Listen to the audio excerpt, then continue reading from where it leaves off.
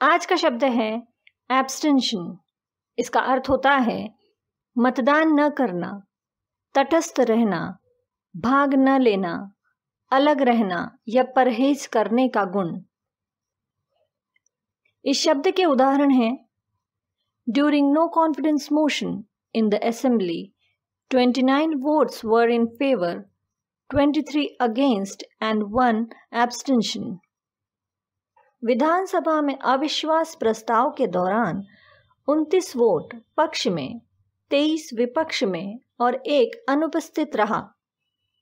Abstention from alcohol is essential when you are taking this medication जब आप यह दवा ले रहे हो तो शराब से परहेज करना आवश्यक है।